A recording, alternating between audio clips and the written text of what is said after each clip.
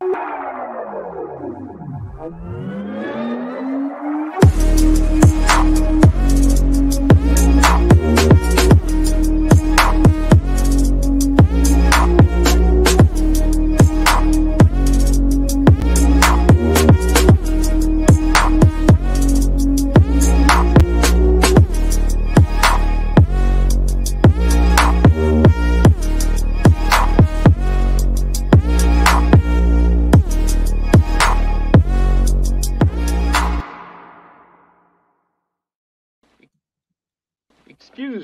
while I whip this out.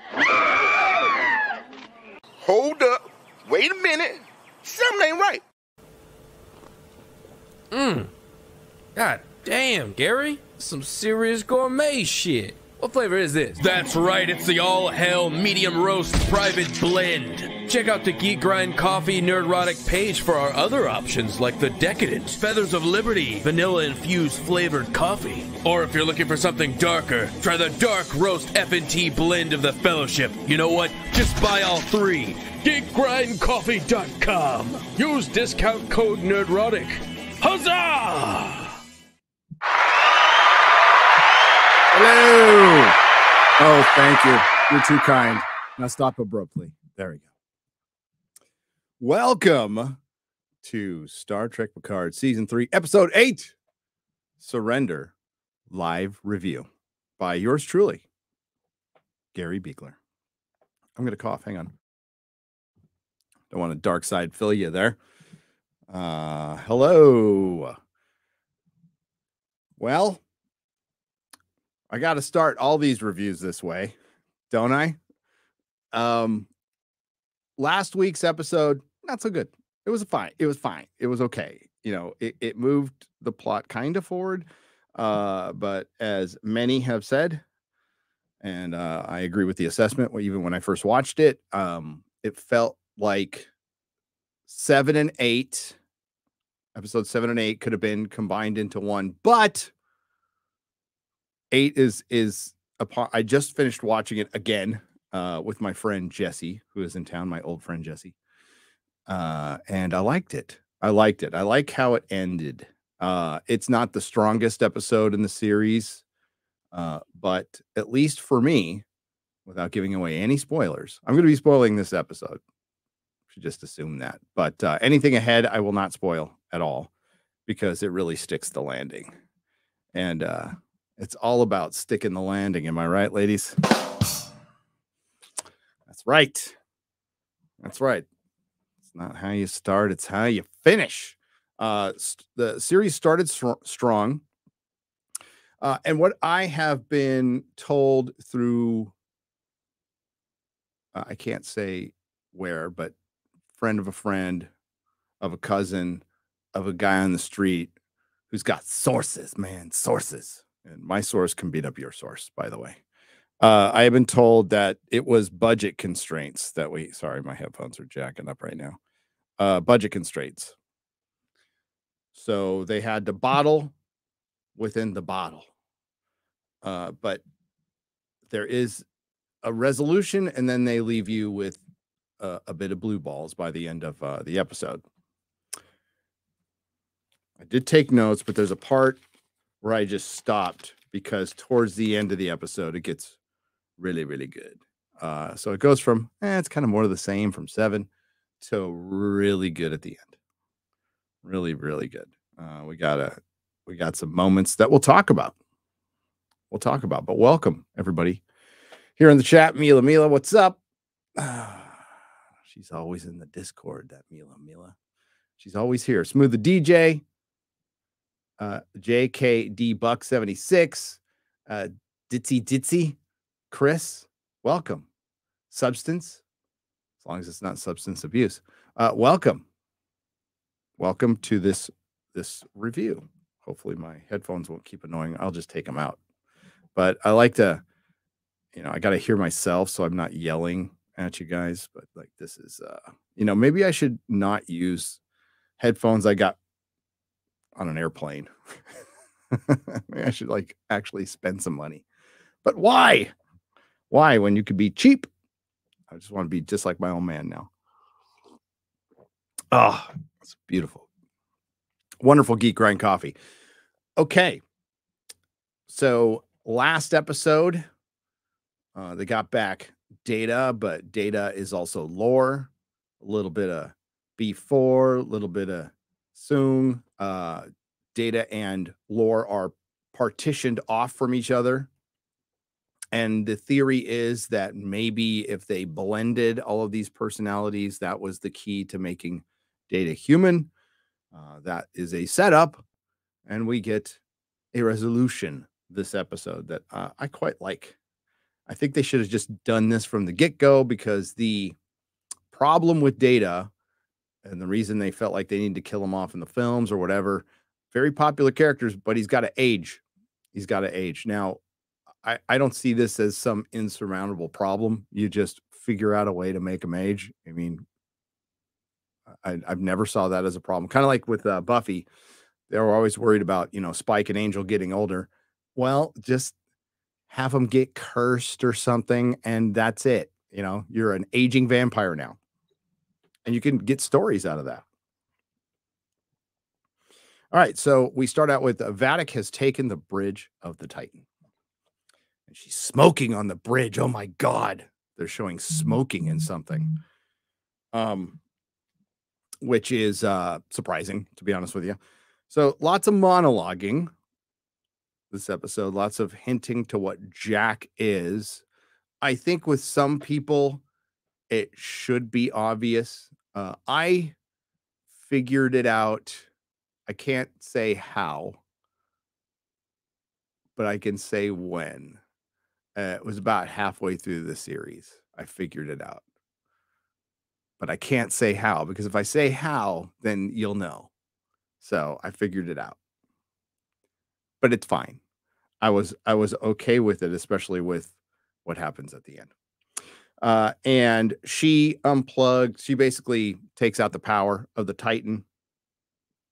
Uh, Geordi does manage to unplug lore slash data, but um, Vadic already kind of beat him to it and she gathers everybody on the bridge. Now, Shaw is mad at Seven because he did she didn't like uh basically blow the lift like when when she and Shaw were in the lift or just Shaw, I can't remember right now. Um he he wanted him he wanted her to just take them all out. He he was ready to die uh and that way it would it would have taken out at least most, but not all of the changelings and give them a fighting chance. And she said she didn't want to make that decision. And he's, you know, he kind of gets very captain on her and goes, being captain isn't about making the decision that feels right.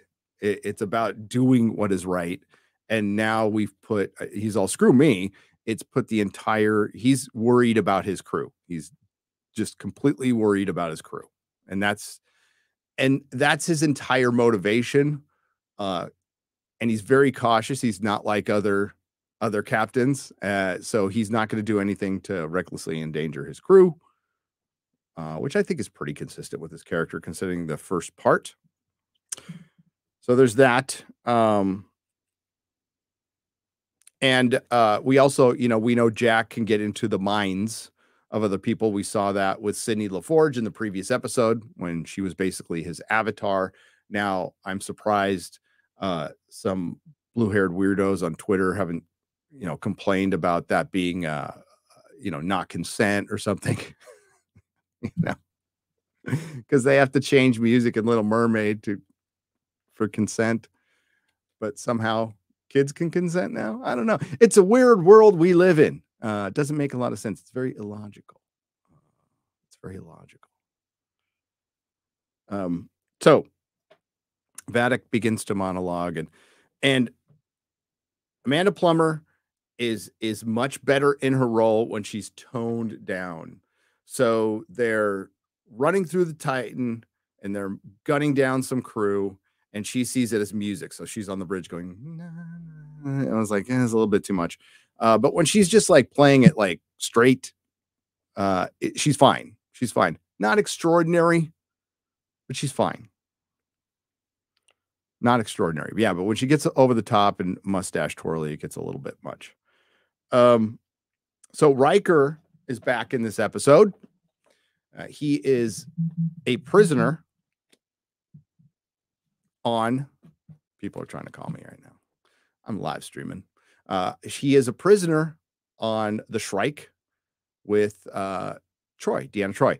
It is it is the real her, and he's being tortured. Uh, to and he does indeed give up the override code. We'll get back to that in just a second. Uh, but these scenes are really good. Uh, the uh, Deanna Troi Riker scenes are very, very good. So we know their son died, and we know it was in previous Star Trek Picard. And well, maybe you don't know because most of you didn't watch it. Well, just take my word for it. Trust me, bro. It was stupid. It was stupid because they banned all synths. All synths were banned, and that's why there was an uprising. Um, and their son needed I can't some something to do with synths to save his life, and they couldn't get it, which is just outright bullshit. Riker would break every rule possible. I would break every rule possible. Any parent would break any rule possible to save their kid, uh, especially somebody with the resources of Riker. So it was stupid, but how they dealt with the death uh, that they were handed with and could do nothing with other than like bringing him back to life, which, you know, whatever, um, was really good. Talked about loss, talked about grief, and we found out that the uh, rift between Troi and Riker was that she wanted to, re- she felt like she was losing him. She wanted to relieve his grief. So she stopped it. And part of it was because she could feel everybody's at the time. And Riker said, You know, I needed to feel that. I needed that. That was my last connection to my son. You didn't have any right to do that. Uh, then he talks about, you know, seeing uh, the birth, the the nebula birth of the space squid, and uh, how you know she felt he changed uh, so there was some good conversation there. And then it ends with uh he's all she's like, Should you have given him the code? He's all there's nothing I could do. They were gonna kill us. Uh plus I trust Picard. He's probably got them up against the wall right now. And he didn't. And they cut to and they're screwed. like everybody's caught. So Vadic does um, some monologuing again. And God, I'm gonna forget his name. You know, I'm gonna take the time to look it up. I think I should. Uh, please bear with me for a moment. I'm gonna make sure I wrote it down right. I did write it down, and I should know his name because it was actually this character had a really good scene. Had a really good scene that is so un Kurtzman Trek that I gotta give the guy props. I gotta give the guy props. So. There it is, right there. Nope, that's not it. I'm a dummy I hit the wrong link. There it is right there. Um, so she is giving Jack has 10 minutes to get to the bridge. They really need Jack. And if you remember, Vadic was told by the floaty blobby head that uh, you are screwed unless you find Jack. You will be dead. So there we go. Uh, Lieutenant Mura. Lieutenant Mura. His brain is taken over by Jack. And Picard is, for one, they have to convince, he has to say, hey, I can take over people's minds. Uh, and he goes through a couple of, eh, a, couple minds of uh, the crew members and sees there's there's a bunch of people dead. He has to explain it to Crusher and Picard, and they're like, "What?" And she's scanning his brain. She's like, "There's no hallucination." He's like, "I got no time for this." And then Sidney LaForge backs him up, says, "Yes, he can do it." So he gets into Lieutenant Mura's mind and Picard gives him an override code, and he starts while uh, Vadic is monologuing, he starts typing in the override code, but she catches him. She catches him, and she instantly notices it's Jack in there, and she's like, "Oh, you're starting to realize your ability." So she obviously knows a lot more than everybody else. Um, Lieutenant Morris snaps out of it, and Vadic says she's going to start killing crew members every 10 minutes. He doesn't. He's got 10 minutes, and every 10 minutes he's late, a crew member dies. So she's got a, a phaser to his head. And she, you know, she asks his name. He says, Lieutenant Mura. And she's like, No, no, I want to know more about you. Who loves you? And he's all, My son. And uh, she's all, give up the goods. And he's all, I can't do that. I'm Starfleet. And he just looks her in the eye and he's like ready to die right there. I'm like, that's a crew member on a starship right there. Right there. Um, she doesn't surprisingly kill him. She puts um uh, actually Ensign Esmar on her knees and uh once Jack fails, she says, Your 10 minutes are up. And she puts the phaser back to Esmar's head and then kills T'Veen, who is uh, the Vulcan. So they're a little bit disturbed about that. And then she says, You got 10 more minutes. In the meantime, they're trying to override everything and they can't. Uh, Sidney said, Hey, you know, I could maybe write a code in a year to override the ship. My dad could maybe do it in a month. Uh, we need a positronic brain. So uh, that's not what she said, but I paraphrased. So they're like, okay, we got to we got to get data. And this is where we have like uh, the, the last temptation of data again, because uh, that's kind of what first contact was was the last temptation of data. Uh, so we have data fighting Lore in his brain. They remove the partition and they are worried that Lore is just going to absorb data. And that's certainly what it looks like. And Lore is just like, yeah, because because Data can't take a life. He's programmed not to take a life. And uh, Geordi tells Picard that, and they said we got to try it anyway. We just got to try it. My phone is being so annoying right now. Now it wants to talk to me. Sorry, I'm just going to turn it off. Damn phone. Hate that. Excuse me. Um. All right. So partition is lowered and it looks like lore is going to consume data and they're like in this you know just white it's not even a room it's a realm and it's data's head and you have uh, uh brent spiner acting against himself and it's a pretty cool scene. That's where it starts and it looks like lore has the upper hand. Uh, in the meantime we've got some uh, riker and Troi back into their their cell.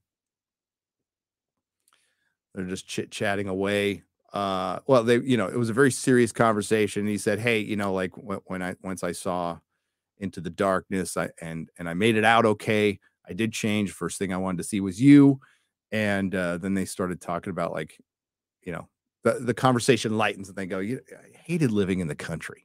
I wanted to live in the city. Uh they do it better in the show than i'm explaining it. Uh but then there uh one of the changelings uh, comes up to probably you know beat the crap out of Riker again and he is killed by Worf. So Worf was sent to go find Riker. Obviously, he was on the Shrike. How did he get there? A cloak shuttle. Um, so Raffi is off with Picard's body because uh, the Shrike is very lightly uh, changelinged. Can't say manned, changelinged. Um, so they free right. Uh, Worf frees Riker and Troi. Um, the Riker and Troi scenes are the best scenes in the this episode. Oh, and and when Worf saves Troi and they see each other for the first time, he starts. Uh, it sounds like he's kind of hitting on her. He's like, "I am so grateful to see you. You've taught me so much about empathy." And like Riker's like, "Okay, dude, calm down." then there's a point where he's all, "I thought this is where the part where the torture stops." it was a good line. It was a good line. I'm paraphrasing there, but it was a good line. It was good. It was funny. Uh, okay. And I talked about Shaw being mad at seven to nine for not blowing the lift. You don't want to blow the lift. Blow in the lift. I guess that depends on somebody's consent, but blowing the lift, he should have done it. Um, we also find out that Jack just assumes that Vadic wants to bring him back to the Great Link. And Picard's all, it feels like it's something more than that. It feels like it's something more than that. Uh, but he says he's definitely not a changeling and he thinks he can retake the ship. And that's when they came up with the idea to, to reset the code. Um, do, do, do, So they devise a plan to once again uh, take the ship if Data can defeat Lore in his head. Uh, and this is a very cool scene. Uh, we start seeing Data. It looks like he's just picking up items from his memory a Sherlock Holmes hat, Sherlock Holmes pipe, and Lore's, you know, clowning him. Like, what are these trivial little things? And he's all, these are memories. These, these are, these are pieces of my life. You know, they mean something to me. They have value. Uh, then he brings up Spot. Good old Spot. Uh, and Data starts giving him his memories. Gave him his uh, pack of cards he played poker with. Gives and gives Lore Spot, and it looks like Lore is about to absorb him, but da, da, da, it's Data. Data was giving away his memories, parts of him, because he knew Lore would see him as trophies, but in doing so, uh, he's not really absorbing Lore. Uh, it's what Soong intended, which we talked about before, which is the key for data to be human is to have all the aspects of being human, even even lore, who is just one aspect of it. So they are now combined. They are now combined to make a brand new but real data. And he comes out of it and he's changed a little bit, but it's still data and it's pretty cool. It's pretty cool. And he helps them start to take back the ship. Uh, Worf, Raffi, Riker, and Troi are able to escape the Shrike because it's lightly changelinged in their cloaked shuttle. They are on their way back to the Titan. Uh, all the power has been restored, and Jack's ruse to buy them time was to actually give himself up, but he had a thermal detonator from Star Wars. Uh, he has a thermal detonator and he's he threatened uh, to blow up the bridge. So Vadic's like, fine, we don't need the hostages anymore. We got him here. I'm not worried about anything. I'm gonna get this. Uh, seven of nine decides to stay with him. Okay, probably because they needed her in the scene, and they wanted to show, you know, like she she was looking after Picard's kid though. Um, and we find out that thermal detonator is actually it's just a shield. It's a force shield and uh, they bl- they blow the es- escape hatch uh, and the view screen opens up and all the changelings including Vadic get sucked into space. Uh, changelings can live in space no problem but she um the, they're different i guess but they i think they i would assume they still could like they they're fine in space. Um, but she does fly into a part of the Shrike and break into a million pieces. So she'd have to probably gather herself at some point. But uh, dead or not, she's dead. She's dead. Vadic gone. In the eighth episode, so there must be a bigger bad. There must be a much bigger bad, and there is. Um, the other thing they found out is with Picard's body, they took out parts of his brain and they took out the parts of the brain that had the Irumodic syndrome. Not sure why. Well, I actually I am. I, am totally sure. I'm not telling the truth. I I am. I'm just not going to tell you. um and there's there is some hints that I won't even repeat the dialogue because there's some big hints. So Data comes back, and we get our first scene with the entire crew together sitting around a table. And I I it's the simple things in life, just like in House of the Dragon. The best scene in that damn show was an old dying king walking across a room for his for his kid. That was just freaking epic. And just a simple little scene of seeing all of them sitting around a table planning. You know, that there's a there's there's some like, hey, how you doing? We've it's been too long since we did this, and then they start strategizing, and I'm like, yes, yes. Uh, there is, I think,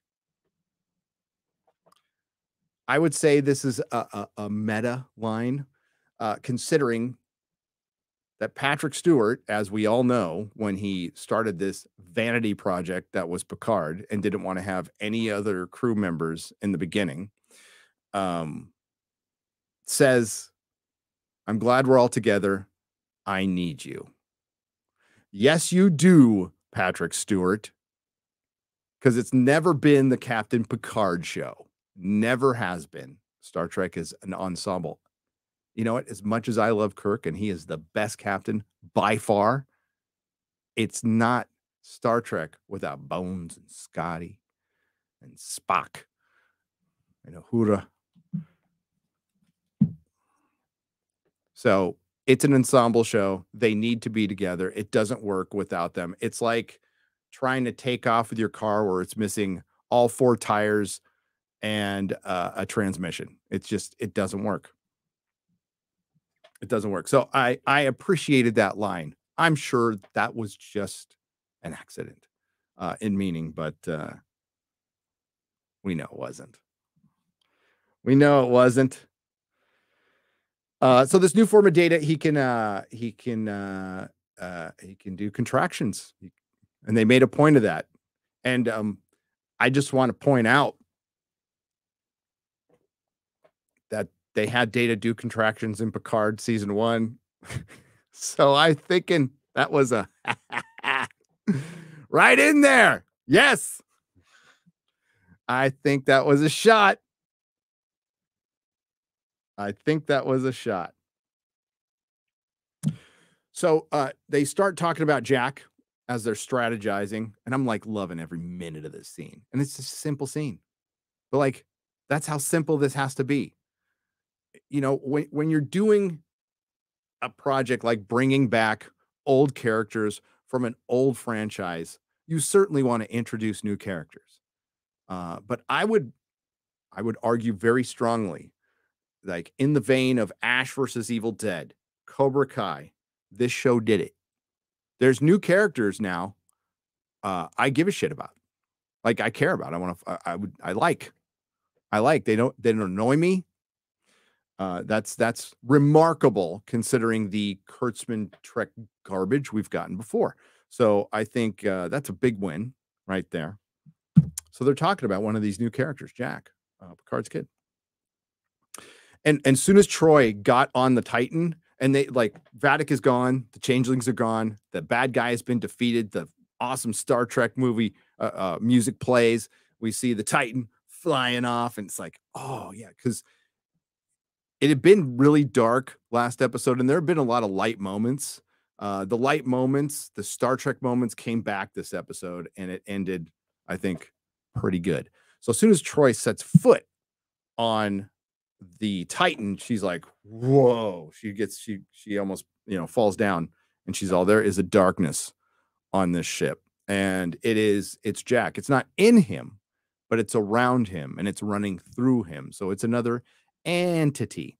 So she needs to meet Jack. They have a little therapy session. And uh, she sees the red door that we've been seeing. And not not the red door in Braavos. I know that's where a Song of Ice and Fire fans to go right there. They are. There's been entire theories about the red door in Braavos.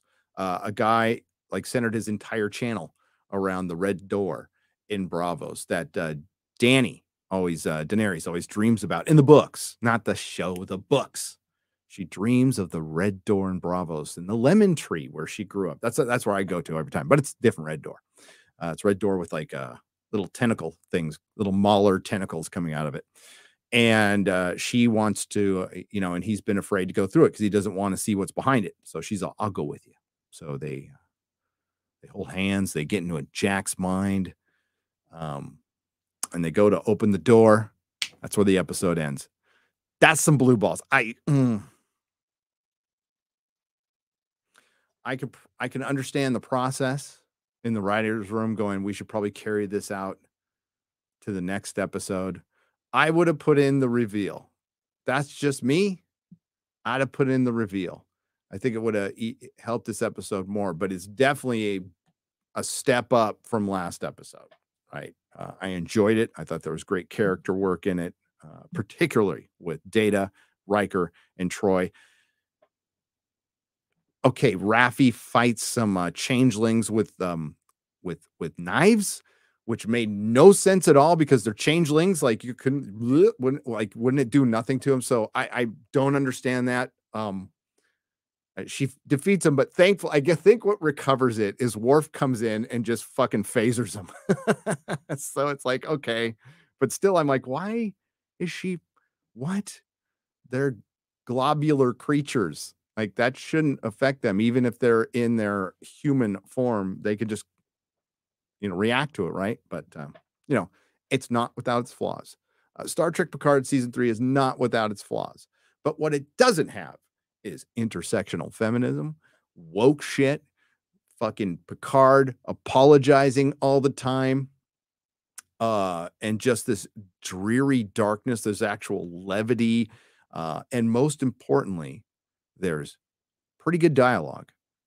Pretty good dialogue. Uh, Shaw, Jack, Sidney LaForge, three really good to great new character. Shaw is great. Shaw is like flat out. Todd Stashwick Shaw is great. Is a great new Star Trek character. The first new great one in decades. So props to Terry Matalas for the and Todd Stashwick, who I mean, he's freaking great in 12 Monkeys too. That guy, how that guy doesn't get more work, not really sure. Not really sure, but he should. He should. And he's a big dork in real life, so I can appreciate that. Uh, but I would say seven out of ten episode. All right, and now, and now, be ready, be ready for the last two. Be ready for the last two um, because as somebody eloquently stated on Twitter, I wish I could give you credit. My memory is shit. That that is my fault. That is my flaw. I apologize. I did not say this. Somebody said it on Twitter that Star Trek Picard season three manages to perfectly thread the needle between good character work, work and fan service, like no other. Uh, yes, there's fan service in here. I and and and be ready for fan service is going to put a big old smile on your face. Big old stupid Star Trek smile on your face. And if it could do it to me in my cold, black little heart that only manages to have inklings of feelings for like my kids. No, I'm just kidding. It's, it's not. It's black-ish, you know. Uh, but um, yeah, I, I'm I imagine a lot of you will probably enjoy it. So hang in there. Hang in there. Uh, but yeah, I like this episode a lot better. Uh, Riker, you gotta have you can't have an episode without Riker. You just can't. You can't. Uh, Jonathan Frakes killed it. Absolutely killed it. Beginning to end. MVP. Michael Dorn, MVP. Hell, Todd Stashwick, MVP. There hasn't been as uh, as much of him, uh, but that changes. That changes. Yeah, the only person, uh, the only actor, and like again, got nothing against this woman. Her dad was a freaking legend, and I loved her, loved her in Fisher King, one of my all time favorite movies. Oh, and and Pulp Fiction, of course, Amanda Plummer, right? Uh, that's the that's the only. Eh,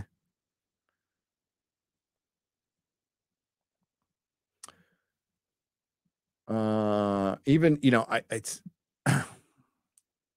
it is hard this is why if you want to if you want to be a adult pretender when you grow up take take a little old unsolicited advice from your pal gary and i'm sure many of you will echo this sentiment many of my fellow contract content creators have echoed this many of you have echoed this sentiment already uh, if you want to be an adult pretender in hollywood and be successful uh, work on your craft work on your pretending.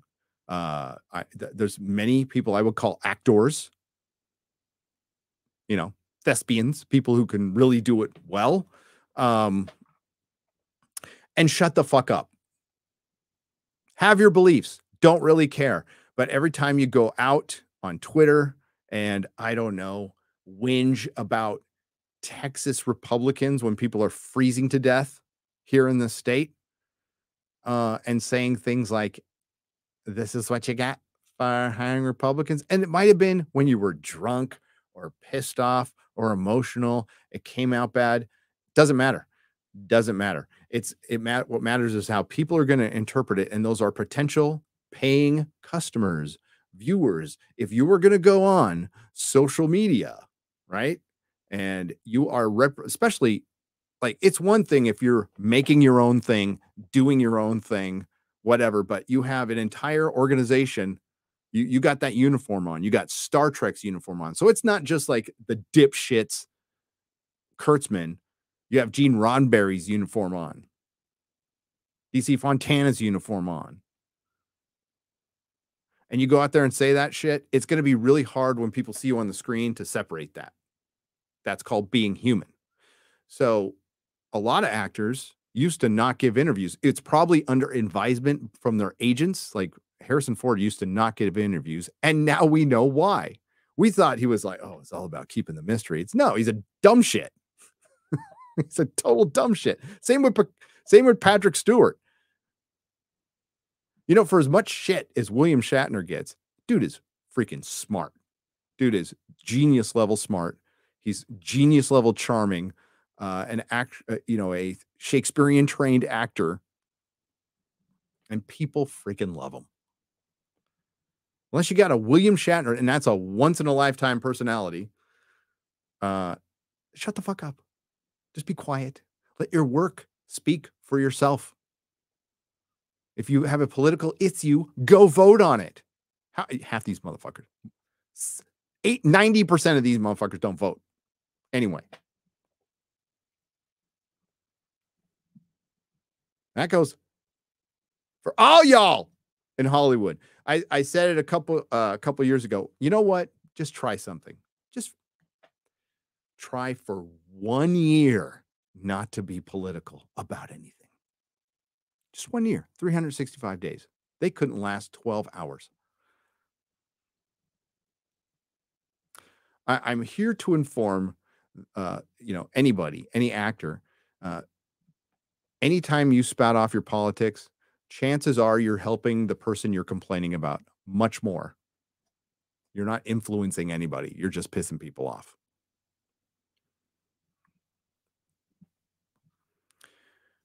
To contrast that, we have uh, a showrunner that really wanted to make a good Star Trek show. And you know not just a good star trek show for me or for az or for dave cullen or the drinker uh, wanted to make it for for everybody did the best he could. And and that philosophy was well i have constraints but I can now, I have constraints going in here, but not on the actual show. And I can go in here and kind of do what I want and do the best I can with a very, very, very, very, very, very limited budget. Like this show got nothing. It got like 350. 350. That's how much they made this show for. And they pulled it off. Let's go to you. Let's go to you. Uh, we got um Big Worm for $10. Also, it's hard to like Marina on a screen now 100%. Also, shout out to Terry. I was genu- genuinely sad when uh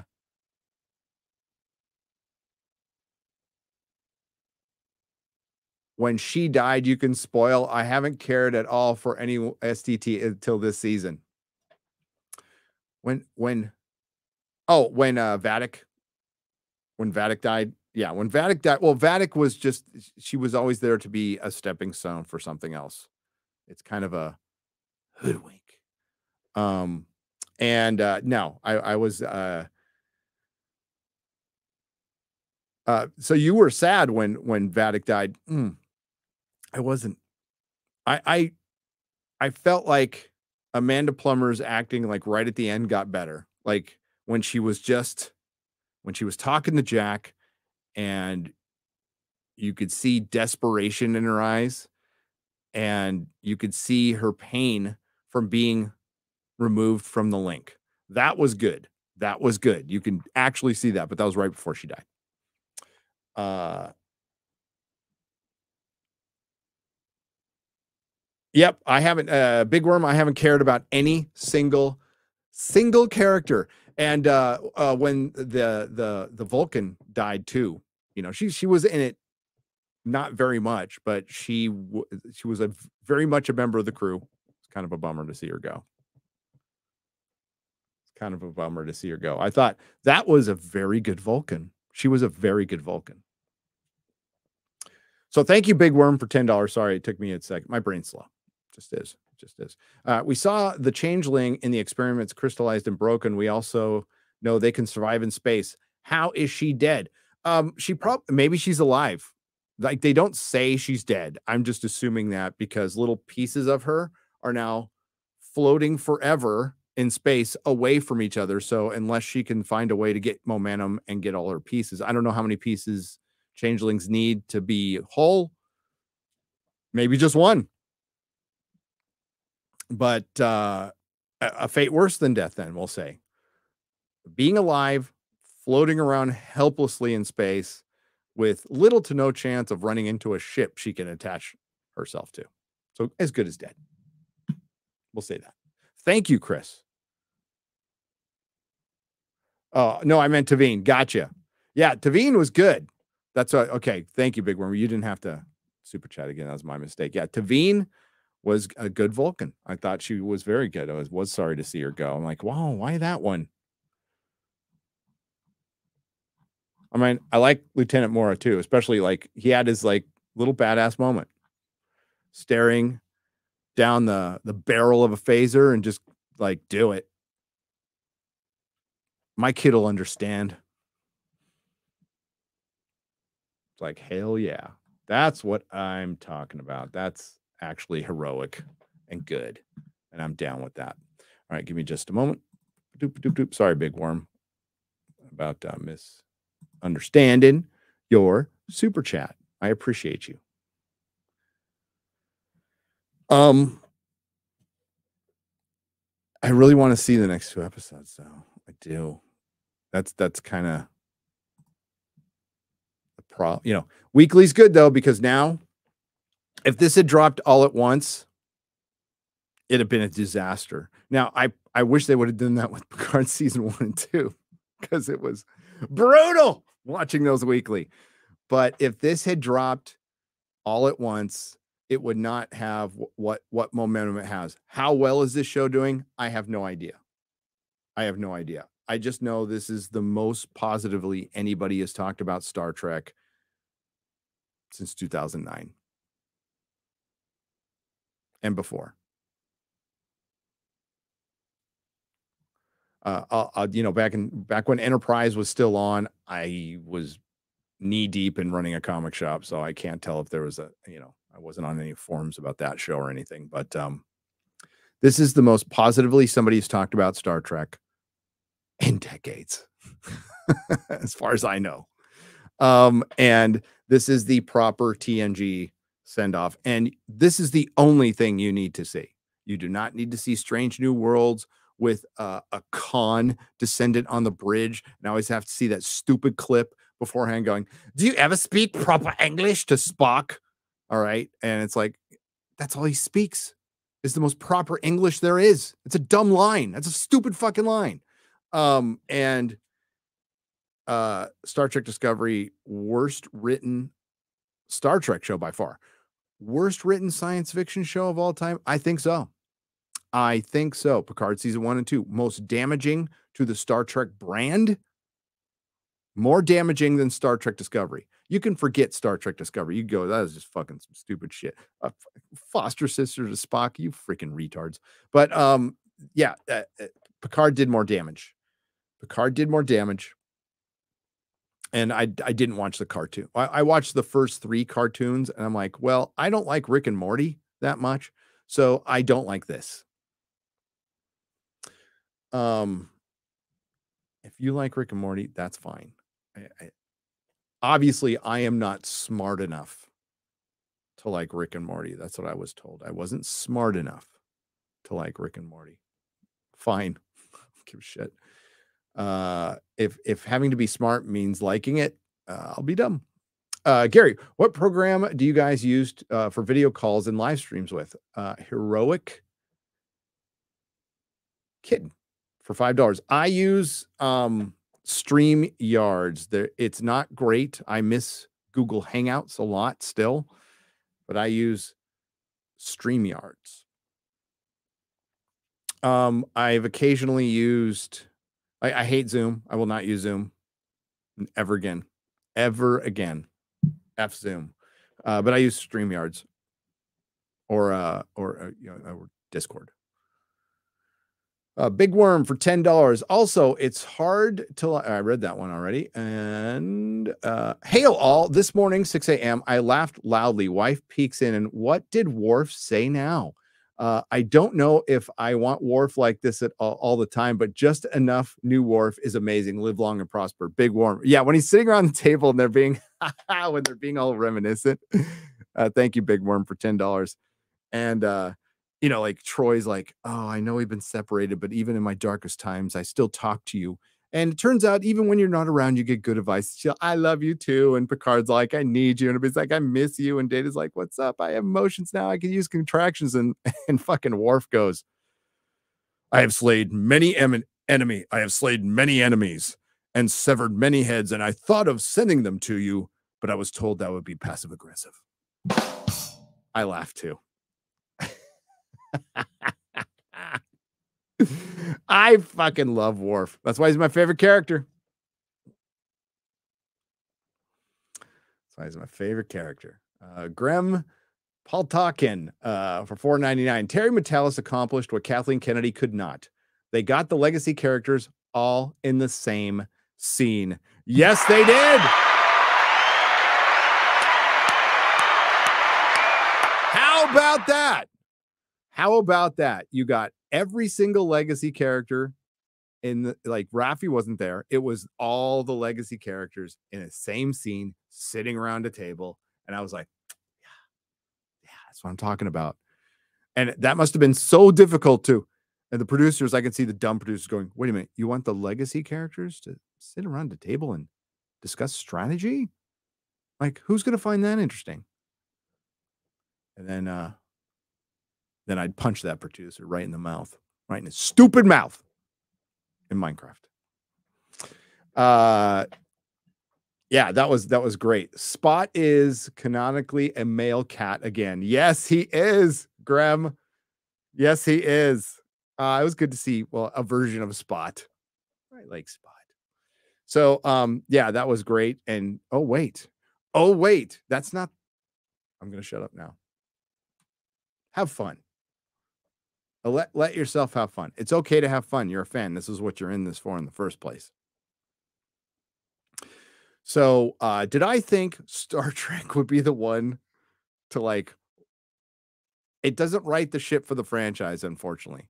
Just to get one thing right for one show in the middle of a bunch of garbage. No, no. As a matter of fact, they were probably last on my list, just above Star Wars. Uh, I actually thought RTD would probably do it with Doctor Who. Uh, I, I, no longer think that, but um, Terry Matalas has managed to pull off nothing short of a miracle, giving us good Star Trek. That's all. Garrett Barley for 9.99. Hey Gary, my mom has just been diagnosed with cancer. Oh no. Ugh, fuck cancer, man. I've been through that. Uh, she introduced me to Star Trek, Star Wars, and Lord of the Rings. Fans make fans, uh, not corporations. Thank you, Garrett. Uh, all my uh, all my good vibes to your mom. I hope she's going to be okay. Hope uh, it's not that bad. Uh, and yeah, everybody, give, give Garrett good vibes, man. She'll beat it. Your mom's tough. Feuder, Dank. I will, will. Oh, you gave me a pronunciation, but I can't see it. Hang on. Where's this going to take me?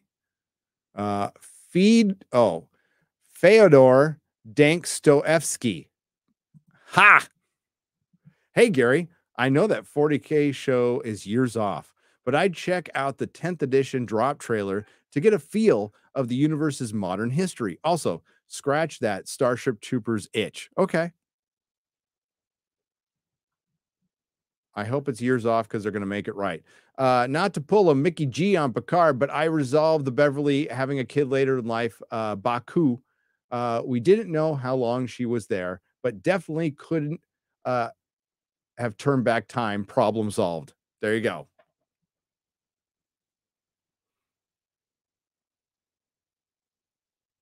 Uh, yeah, and again, like, yeah, she had a kid really late in life that was talked about before. It's a 24th century. I think they could pull it off. Janet Jackson had a kid at 50. Uh, but she's like insanely, stupidly rich too. Uh, have you purchased the TNG Films 4K box set? Yes. Uh, Grem. I have not.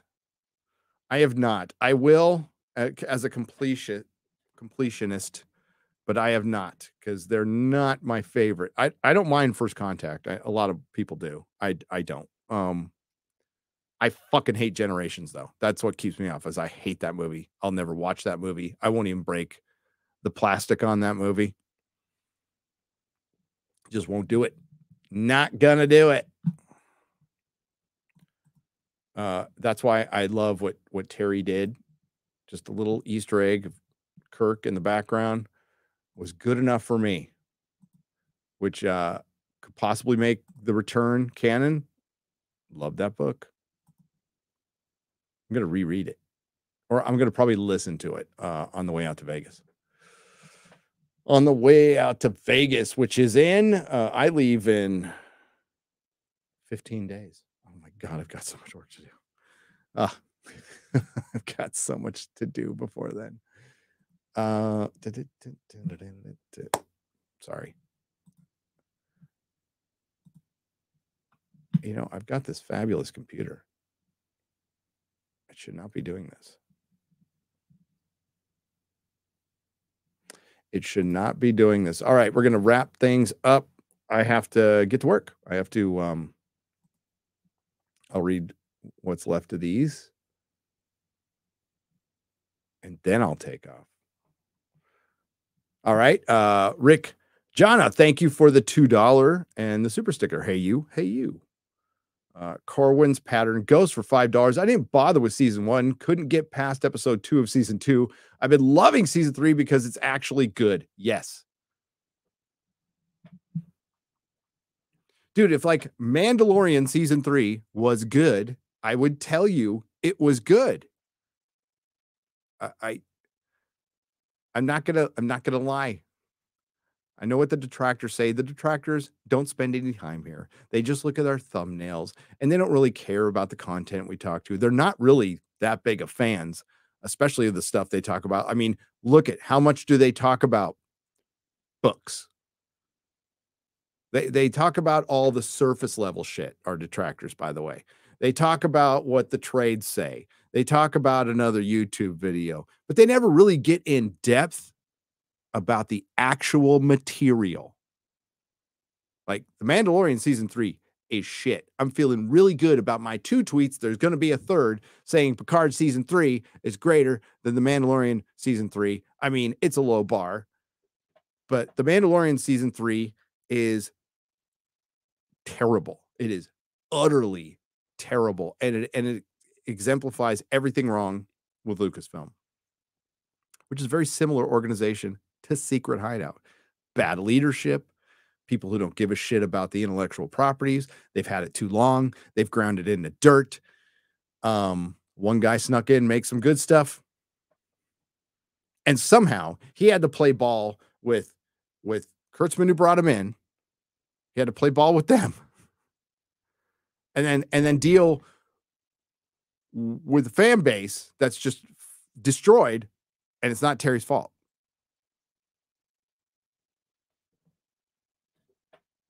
It's Kurtzman's fault.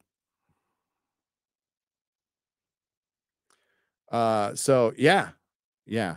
Mandalorian season three is terrible. But if it was good, I would tell you it was good. I mean, like, I hate the fact that I have to say this out loud, but and then I'm not even uh, I will not only tell you why I don't think it's good. I'll tell you why I don't think it's good. You may or may not agree.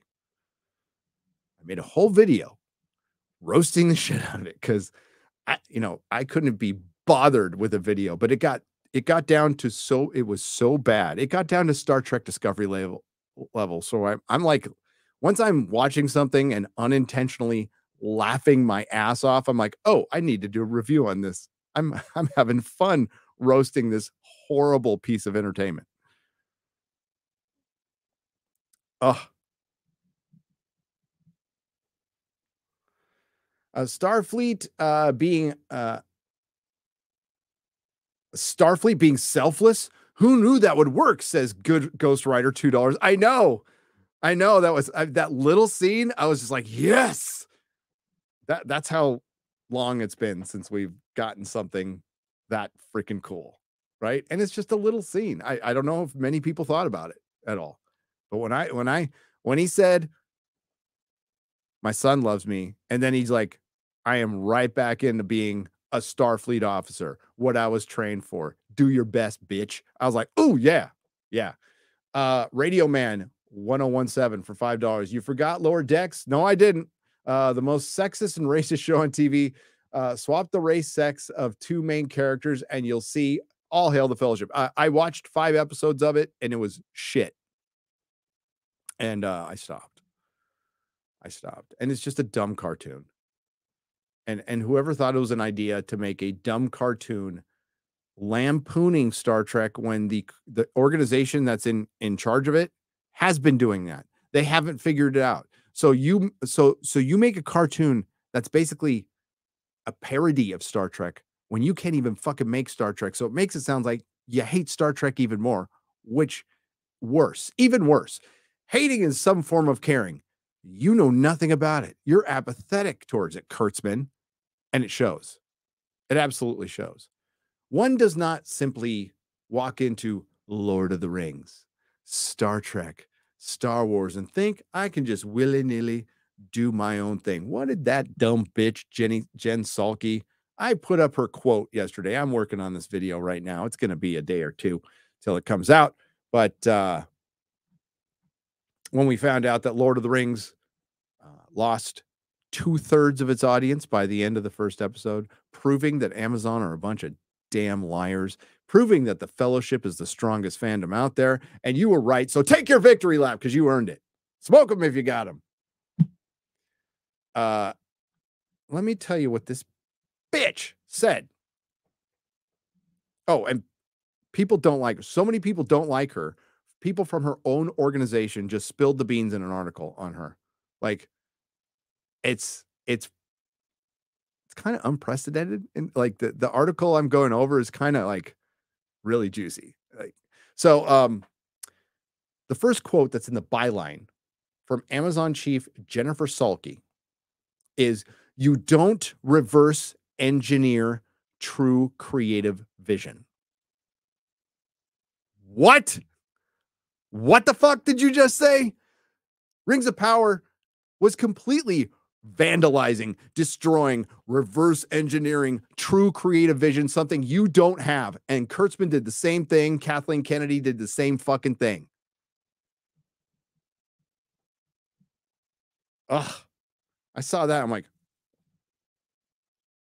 I can't believe she just said that. She is an arrogant, overconfident, dumb bitch. And she got she got she got her ass beat. And this is a high level executive who used to run NBC entertainment who's not used to getting her ass beat. And now she's surrounded herself with a bunch of yes men who's like, oh no, no, no. Rings of power, doing great. Well, I'm sure Kurtzman surrounded himself with a bunch of idiots going, Star Trek, doing great. Uh, no, it's not. No, it is not. And and when when they get good Star Trek, it proves it even more. See, it it drives the point home because there's people who have been very critical of me, fine with it, don't really give a shit, who are now liking the same thing I like. Wow. How did that happen? Did I sell out? Was I shield? Or did I just watch something I liked?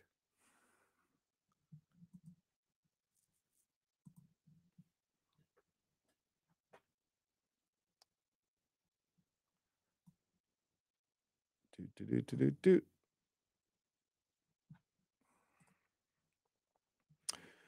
Uh, uh, uh, I'm going to watch Picard after the full season drops. You know, that's not a bad idea. I don't think it's a bad idea. It would help it more if it was watched weekly. But again, I have no idea what the viewership is. I, I can't honestly tell you this is successful. I know there's a lot more conversation about it, but I can't tell you if it's successful. I, I I don't know. I, it, might be too little, too late. We will see. And and honestly, I would love to tell you I think this will change things, but it, I don't think it will. I think the reverse will happen. And I've said this since the very first review that Alex Kurtzman will steal Terry Matalas's valor, his uh his good creative work and make more shit. Cuz that's how it goes in Hollywood. Most of them are dumb. Uh, I'm going to watch Picard after the full season drops. Does Chief O'Brien show up? Uh, DS9 is my favorite, so he's my favorite TNG character by default. Um,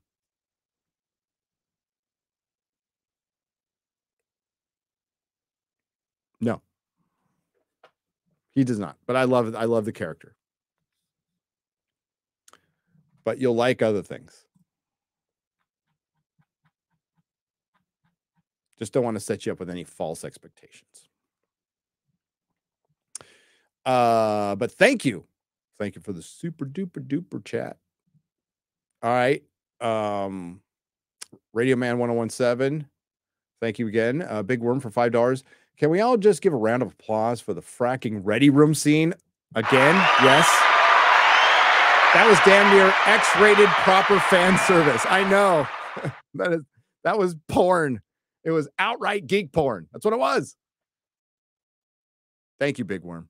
Uh, of Man, Not Machine for $5. Was hoping the big bad would be Gul Dukat.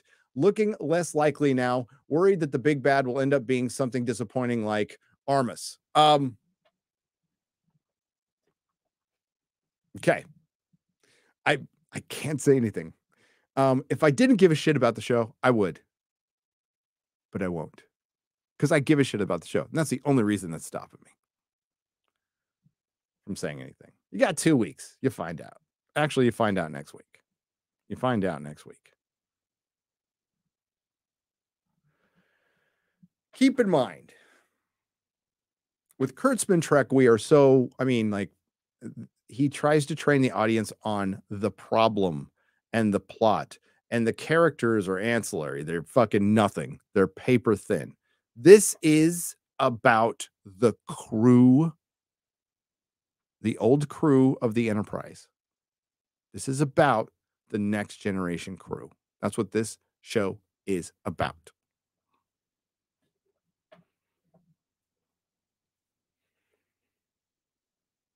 God, it's good. I mean, there's other things in it, but that's not what the uh what what makes for me, what makes good television because it's serialized and I grew up on serialized storytelling because I read comic books uh and I prefer it uh other than like, you know, awesome fantasy like Lord of the Rings, but it's characters said this a million times characters. Why do I like Buffy the Vampire Slayer? It's got good characters. Why do I like Angel? Good characters. Why do I like Firefly? Good characters. X Files, great characters. Battlestar Galactica, great characters. Plots for some episodes, hit and miss, hit and miss, but I still like the characters. I like Farscape, brilliant, brilliant characters. Doctor Who, brilliant characters with one of the greatest characters ever written, the Doctor.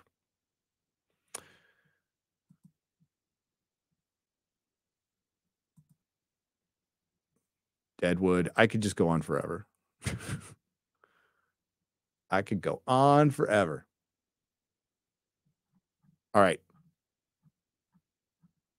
Hopefully, I didn't miss any. Uh, okay, we're gonna wrap it up there. I I really appreciate you guys being here. Um, Never, ever let anybody shame you for your nerd flag. Uh, I am not about going after fans. You like what you like. I'm to not like what I not like, and I will talk about it. We may strongly disagree. Now, some people go out and call me a, a bigot and a white supremacist, right? Supreme sandwich, I'll say, and all that other shit because I don't like The Last Jedi or I don't like Jodie Whittaker as Doctor Who because the doctor's a man, not a woman. I'll say shit like that. Um, and I don't care if people like it. I really don't. I really don't. Doesn't bother me at all. make all your videos, make a better argument. Go out, make a better video, make a better argument. Uh, but if you like this, if you hate it, all right, you're a fan. Fair enough, especially if you've watched it. I find it it's helpful to actually watch this stuff before criticizing it or covering it or reacting to it. Um, but you do you. You're a fan, and uh, as a fan, uh, I hope one day we can all just come together. You know, back to good old days when we used to used to just shoot the shit about all this stuff and fight about the normal stuff, like who's a better captain? Obviously, Captain Kirk. But you know, the normal shit. So I, I thank you. I, I I can't wait for next week. I'm looking forward to next week. This is so weird. It's so weird. And I will see you on Friday Night Tights. We have Drew Hernandez and Geeks and Gamers are gonna make me watch the Super Mario movie. Somehow I'm gonna see it before Friday. Uh, and they're gonna want to talk about it so I might take an hour off. no, I'll be there. Um, and we're definitely to talk about the state of Star Wars because Lucasfilm hit a brand new low just when you thought they couldn't get any lower. They do. And it, honestly, Lizzo was lame. Lizzo and Jack Black were lame. We can no longer make fun of the Disney Star Wars Christmas or the Star Wars Christmas special. That's not Disney. We can't because it's no longer not even close to being the lamest thing Star Wars has ever done. It's more canonical, it's more entertaining, and I would rather watch it a hundred times more than anything Disney Star Wars, and especially the last episode of The Mandalorian. No, the worst thing they did in that episode is show you that the Mandalorian's no longer about the Mandalorian. they MCU'd it. And quite frankly, Lucasfilm has been more MCU than Marvel. Uh, they're way ahead of Marvel on the MCU. Uh, but it's it's freaking MCU or Star Hers, Disney Star Hers. Well, I'm, I'm I'm I'm spitballing. I'll think of something better. Uh, but it's the woman DeLorean. So we'll definitely be talking about that. Of course, uh, Amazon lying, Amazon lying. We'll talk about that. So it'll be fun. It'll be fun day tomorrow. Uh, oh, and drunk 3PO is finally he begged and begged and begged and begged and begged and begged and begged and groveled and begged, bribed, begged and I just caught caught in a moment of weakness on Tuesday night's main event, and I said you could be on the show. Automatically regretting that decision, but I can't go back on it now. So drunk 3PO will be there too. Uh, Matthew Hammond. Maybe I did. I don't know. I didn't see it. Let me uh, refresh. Let me refresh. I got the one that says, Did you miss my super chat? Sorry. Oh, there it is. Okay. Uh, I'm glad to hear you started Stargate SG1. Unlike Star Trek Next Generation, you do not have to watch three seasons for it to get good. You're funny. You're funny. Matthew, uh, you know what? Tell you what. I know you're a smart guy. Get that 30, 30 hour day go, going. Get that 30 hour day going. Um, hey, hey, it's it's not it's not unlike the Mandalorian. Hey, it always takes season three of a series six episodes to get going. no, uh, Picard season three schooled it, absolutely schooled it. And you want to know why? It's really simple.